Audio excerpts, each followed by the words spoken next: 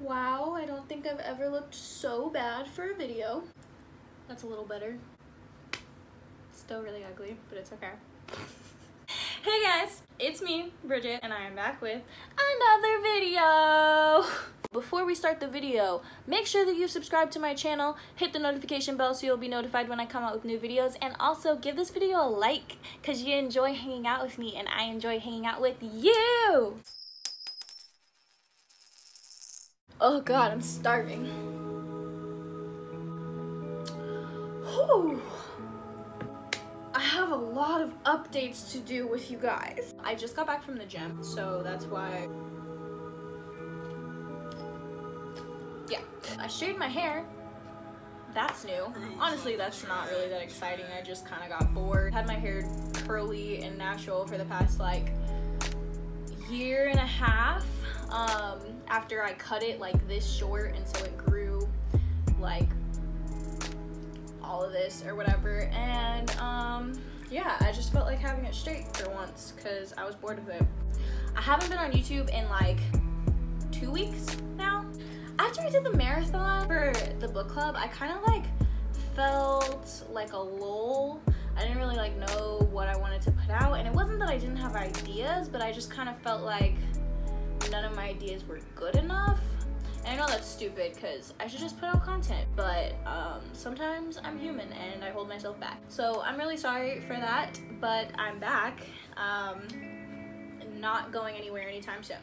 I also had a breakout. If you guys can see all that, I usually have like really clear skin and I kind of pride myself on having clear skin um, because I used to go through really bad acne when I was younger. Not even when I was younger, literally up until I was like 19 and then I cleared it up and my skin was really clear and then this past like month I guess I've just been going through it. Basically, since I moved to LA, I've been, you know, trying to put myself out there more, trying to do more, trying to meet more people. If you guys follow me on social media, you see that I just like go out very often. I have all these new friends. Like I'm just really working on being comfortable in my own skin and like giving myself a chance to experience the world because that's something I've always wanted to do and I've always held myself back from that or I've let other people hold me back from that and now I'm like fuck that I want to experience my life while I'm still young and I still fucking can because I only have one of them so I might as well do it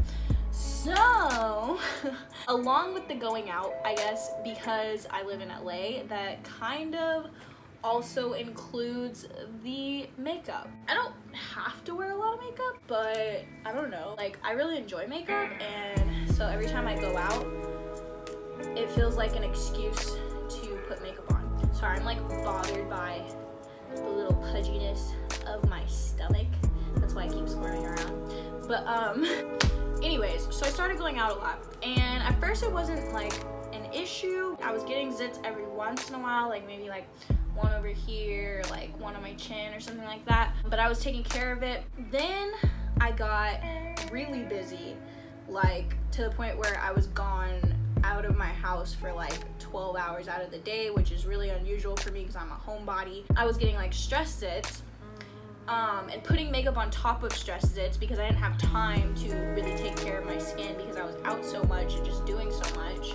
Then I actually did something really stupid and before I even tell you guys about it, don't like take this as an example for your own life or like a warning for your own life because honestly like it just it would just happen to me. I have like really sensitive skin right? And i'm like allergic to aloe vera petrolatum and vitamin e. And i've known this my entire life but for some reason bridget's brain i kind of just was like, fuck that. And I've been hearing a lot of great stuff about aloe vera, right? Like online and stuff like that. And so I was like, I want to try it. Like, I want to see what happens if I use some aloe vera. So I had these stress zits like on my nose and in the middle of my forehead. I put aloe vera on them for like three days straight where I was just like piling on the aloe vera because I thought it was helping but it really was not helping. It was burning the shit out of my skin. So the zits went away, but the uh, skin got burnt. So now my nose has been peeling for the past like little while. Um, it's cool, it's cool. So that's pretty dumb. Um, I think this also contributed to my skin, but for the past like three weeks to a month, I've like stopped working out. I think that even though I was wearing so much makeup before, the working out consistently and like sweating my skin out consistently was really helping keep it clear.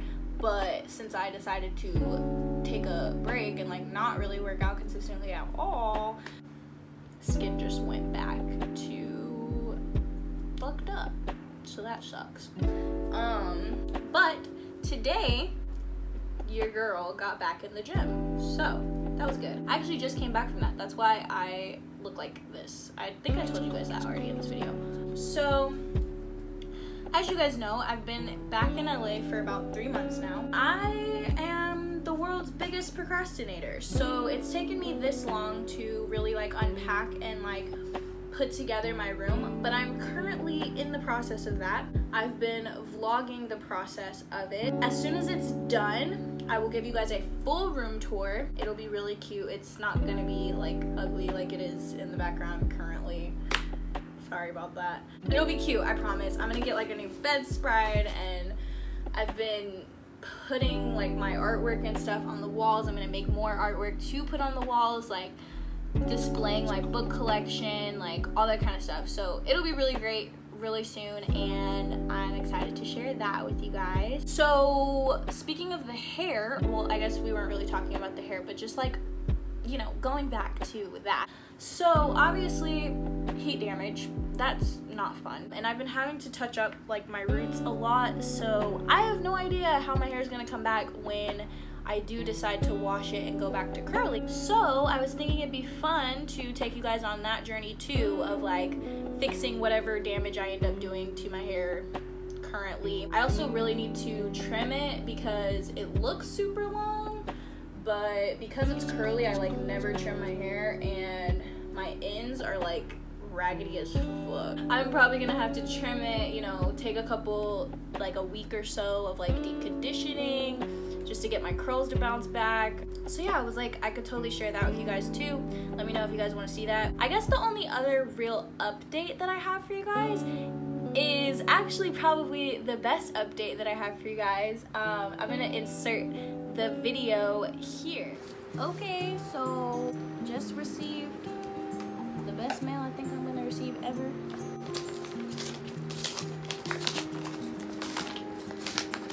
that address right there? Yup, you know, you know what that means. You know what that means.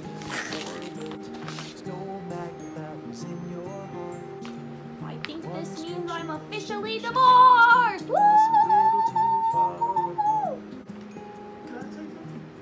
Woo! I don't know, like, what I'm actually supposed to see, but yeah, I think that's Isn't that what they said, right? I just had to wait for it to have the mail. I am officially a single woman. Woo!